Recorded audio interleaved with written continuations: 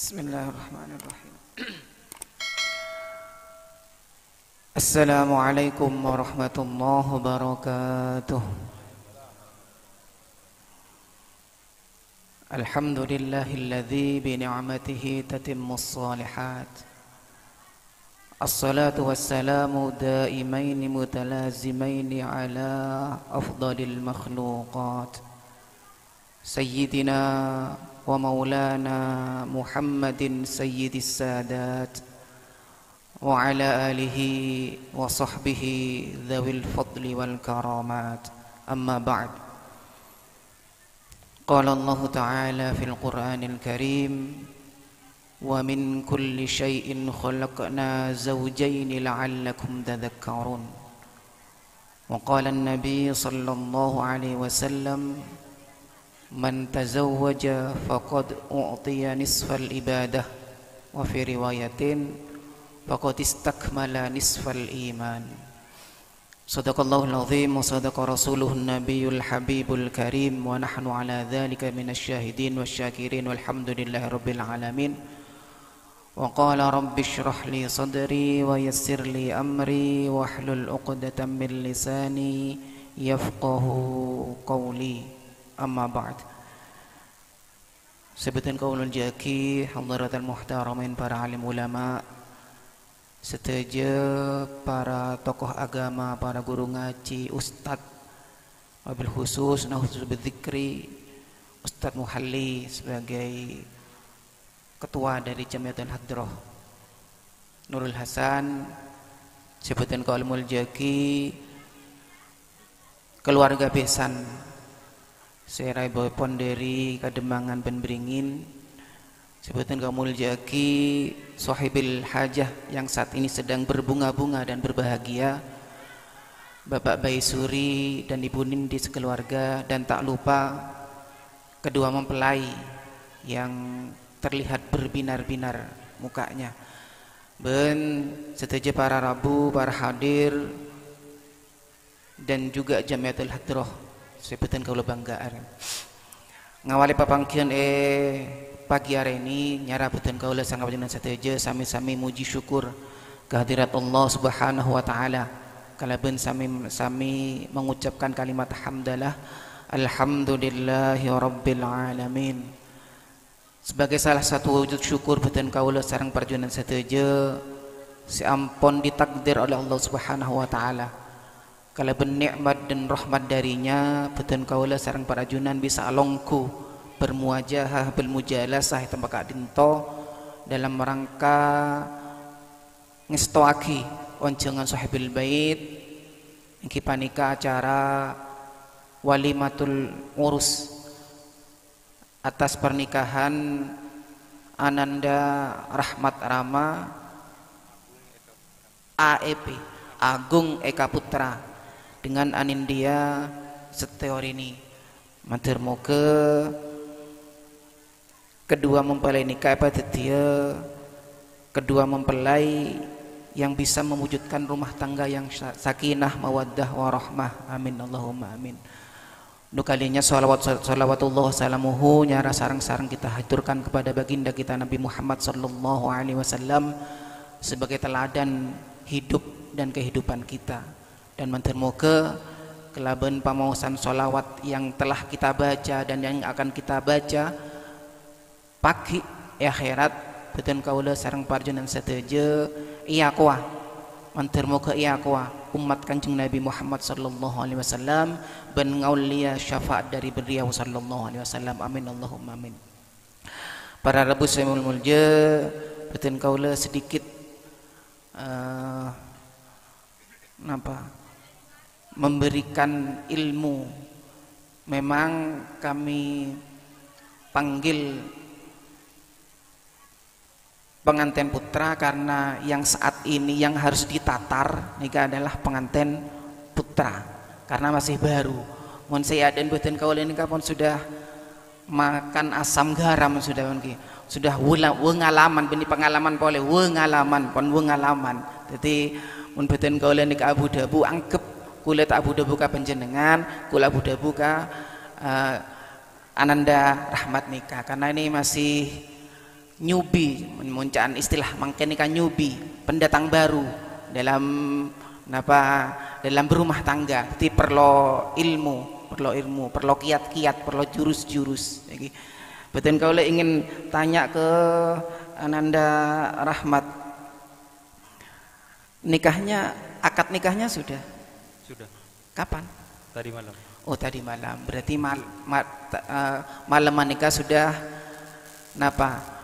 Mengalami malam pertama sebagai pengantin. Musik kita araji nih kata kira oning rasana di rumah. Oke, mun pun saya araji nah boleh pengagungi anak. Nih cek cek awal lah lagi tadi malam akad nikahnya. Mudah-mudahan akad nikahnya jadi akdan mubarakan wa mitsaqan walidhu amin Allah. Amin, ya amin. mun reng maknakan amangken nikah nikah nikah itu enaknya hanya 10 persen. Sangang puluh persen apa? Enak. Jangan akan amangkin jadi 10 persen nyaman sangang puluh persen napa? Nyuaman cek nyaman nah jangan jangan apa mun akan de akan amangkin para rebus memulje syariat yang termasuk paling tua dari umur manusia adalah syariat pernikahan. Karena apa? Syariat nikah sudah ada sejak zaman Nabi Adam alaihissalam. Bahkan syariat nikah-nikah sudah ada ketika Nabi Adam beserta Siti Hawa masih ada di dalam surga Allah Subhanahu wa taala. Jadi sampai makin mulai dari Nabi Adam sampai mangkennya kawan sudah berapa ribu tahun umurnya pernikahan jadi syariat nikah ini adalah salah satu syariat yang tertua Loh, eh dalam kitab Sab'iyat fi mawaidhil bariyat disebutkan tentang kisah pernikahan Nabi Adam dengan Siti Hawa para rabu menduhkan kaulah sang para junan sadeja sami-sami mereng bahwasanya Nabi Adam nikah adalah makhluk pertama atau manusia pertama yang diciptakan oleh Allah Subhanahu wa taala di surga. Di surga nikah Nabi Adam diberi seluruh fasilitas, semua fasilitas surga diperkenankan. Makanan beda, minuman beda, cema-cema beda. Tapi sayang Nabi Adam perak ketipi tidak ada tetangga, tidak ada teman, tidak ada kawan di surga. Merasa kesepian. Sami sarang badan kaula sarang pajunan sadaja saumpama hidup di satu daerah sudah punya fasilitas semuanya. Pas tak ngagungi kanca, tak ngagungi tetangga, tak ngagungi kawan. Gimana perasaan kita? maka tentu kesepian tak nyaman tak beda kapi tapi pas tak ngagungi kanca tak ngagungi tetangga tak nyaman demikian juga Nabi Adam walaupun fasilitas tersedia di di surga tapi merasa kesepian maka Allah subhanahu wa ta'ala tahu tentang kesepian Nabi Adam ini lentas menjadikan seorang makhluk dari rusuk kiri Nabi Adam diciptakanlah seorang perempuan yang namanya Siti Hawa. Kemudian ketika Nabi Adam nikah ningale Siti Hawa ejauna bekjau Nabi Adam nikah berkata Hawa kemari kemari datanglah tapi Siti Hawa berkata tidak engkau yang harus kemari. Le dari percakapan Nabi Adam dan Siti Hawa nikah terjadi adat. Sampai mangken kebanyakan adat yang terjadi di masyarakat adalah yang laki-laki mendatangi ke perempuan. Saya laki minta kasih bini. Itu salah satu adat berdasarkan dari percakapan Siti Hawa dan Nabi Adam dan Siti Hawa. Kemudian nalekana Siti Nabi, Nabi Adam mendekat kepada Siti Hawa kemudian ingin memegang tangannya Allah Subhanahu wa taala melarang tulit kade jangan sentuh dulu. Engkau boleh menyentuh Siti Hawa ketika engkau sudah nikah dengannya dan membayar maharnya. Jadi para Rabu Mulja syariat nikah nikah adalah syariat yang tertua dari syariat-syariat lainnya yang diwajibkan Allah kepada umat manusia. Ananda Rahmat ketika Ananda memilih Ananda Rini atau Ananda Nindi sebagai calon istri apa yang jadi pertimbangan Ananda Rahmat?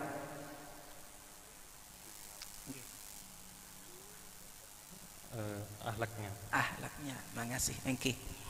Kemudian tujuan dari Ananda Rahmat untuk menikah itu pun apa? Membangun rumah tangga. Ah iya. Membangun rumah tangga para rabu saya memulja. Betul kaulah pernah menyampaikan bahwasanya nalekana seorang laki-laki menikah dengan seorang perempuan maka harus ada niat di hatinya. Harus ada tujuan di hatinya. Tak perak untuk sekedar berhura-hura. Tak perak sekedar untuk melampiaskan nafsu. Punten. Ada niat yang harus dipatri dalam seorang pengantin pria dan wanita ketika menjejakkan kakinya di pernikahan saya pertama seorang pengantin harus mempunyai niat bahwasanya ibadah nikah yang dilakukan adalah menjalankan perintah Allah Subhanahu wa taala. Sikap yang, per, yang pertama. Karena apa? Eh, dalam Al-Qur'an fankihu ma minan nisa'i masna wa thulatha wa ruba. Nikah. Jadi ketika seorang laki-laki berniat untuk nikah maka niat salah satunya yang ada di hati adalah menjalankan perintah Allah di ayat ini ada kebolehan untuk bernikah saat menikahi perempuan dua tiga atau empat jenengan ke depannya kalau ada peluang untuk bernikah dua kali tiga kali empat kali atau hanya satu kali mana yang anda anda pilih? Cukup satu. Nah Pak Bay sebagai metua kemudian Dek Nindi nikah.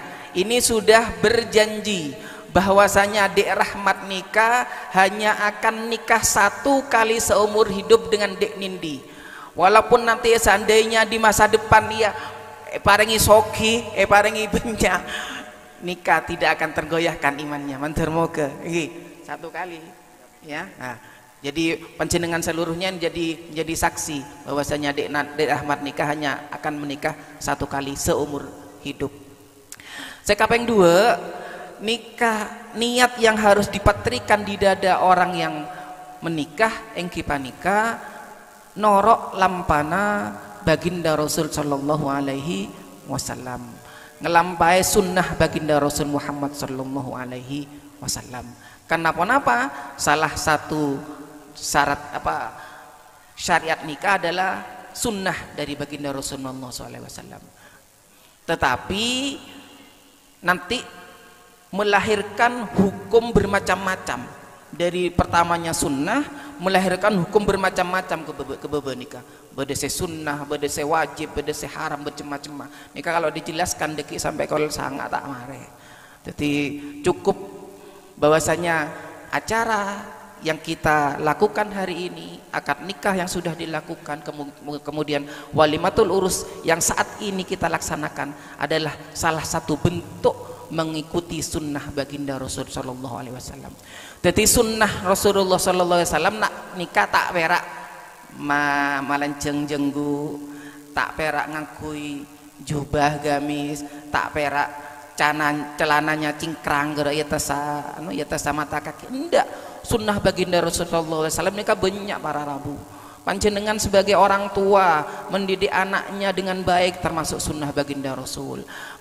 Panjenengan mencari rezeki yang halal juga termasuk syariah dari baginda Rasul. Panjenengan saya kepada tetangga nikah juga sunnah baginda Rasul Shallallahu Alaihi Wasallam. Jadi sunnah nikah tak hanya secara lahiriah di di di di, di, di anggota tubuh kita punten tingkah laku kita sesae itu semuanya termasuk sunnah baginda Rasulullah alaihi wasallam termasuk nikah hari ini. Jadi mungkin jamaah hadroh bede saya belum nikah saya doakan muka secepatnya untuk menikah. Diberi jodoh yang solihah. Lagi karena di dalam hadis man tazawwaja faqad utiya nisfal ibadah dalam riwayat lain fawadistakmala nisfal iman. Barang siapa yang menikah maka diberi oleh Allah itu nisfal ibadah setengah dari ibadah. Maksudnya apa eh dalam nikah nikah seluruhnya ibadah insya Allah kalau kita niatillahi ta'ala. Ketika kita memegang istri kita itu sudah dapat pahala. Ketika kita memegang mencium istri kita itu sudah mendapatkan pahala. Ketika kita ngapa mendidik anak kita itu sudah dapat pahala. Pahala setengah ibadah lainnya bisa kita lakukan di dalam sholat puasa kemudian sodakoh dan lain-lainnya. Jadi berbahagialah yang sampai saat ini sudah mempunyai istri mempunyai anak berbahagialah. Sebagian ibadahnya kita lengkapi dengan ibadah-ibadah mahduh atau gairu mahduh lainnya. Sekarang telok Ananda Rahmat sebagai pengantin baru harus juga diniatkan manakala sampian nikah. Itu tujuannya untuk hifudun nasl untuk menjaga keturunan. Karena kita tidak sama dengan hewan. Mun hewan nikah mun pada seneng langsung deti di tempat itu juga tapi manusia punten. Ada aturan-aturannya ada rambu-rambunya. Terlebih lagi di saat ini di mana pergaulan sudah masya Allah meningkunya mana media sosial IG Instagram Twitter kemudian napa boleh TikTok snack video aduh. Masya Allah macam-macam nih kapan. Muntak kuat iman Muntak ngagungi lawan tanding lawan tanding. Nikah bisa-bisa. Duh tak bisa saya kenapa ingin mengutarakan.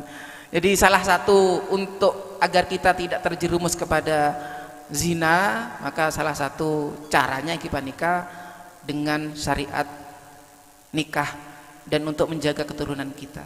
Karena apa? Ketika kita nikah insya Allah secara agama itu sah. Dan juga tadi malam kan dinikahkan sama penghulu ya? Iya dengan penghulu dengan pengoloh jadi sah secara agama sah sah secara kenegaraan. Sebab beda orang perak inginnya sah secara agama tapi tidak sah secara kenegaraan. Kenapa nikah siri. Nikah siri kenapa nikah? Sah sah secara agama. Kenapa termasuk zina bunten enggak sah. Si A si B sama sama kenapa sama-sama suka keluarganya sama-sama suka kemudian nikahkan oleh oleh kiainya oleh ustadznya tanpa didaftarkan kepada KUA apakah sah? Sah secara agama? Tak apa-apa tapi karena kita adalah termasuk negara hukum dan kita warga negara maka harus patuh hukum. Yang pertama itu. Saya kedua kelemahan nikah siri nikah ditakutkan dikhawatirkan kalau seandainya dalam beberapa tahun yang akan datang siang laki-laki ini pas berkhianat meninggalkan sang istri maka nikah tidak bisa dituntut di pengadilan. Tak bisa. Karena apa? Sobung hitam bukti hitam di atas putih. Tidak ada surat nikahnya. Tidak ada. Tapi kalau nikah di KUA itu sudah insya Allah sah secara negara dan sah secara agama. Para ibu tiga niat ini yang pertama niat menjalankan perintah Allah. Yang kedua niat untuk ittiba kepada sunnah baginda Rasulullah SAW yang ketiga niat untuk menjaga keturunan kita. Seharusnya ada di hati pengantin kedua pengantin laki-laki dan perempuan. Para rabu semen mulja sakadin toh sekoni dari badan kaula tak temu berek apa yang bermanfaat itu datangnya dari Allah. Kalau ada kesalahan itu datangnya dari badan kaula pribadi. Selebihnya nyon sepora setak maki betes. Wallahul muwaffiq ila wong Assalamualaikum warahmatullahi wabarakatuh